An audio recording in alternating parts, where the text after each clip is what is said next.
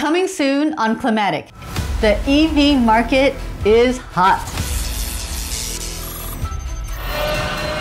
Electric car registrations were up 41% in 2020, in a pandemic year when the world sold 16% fewer passenger cars overall.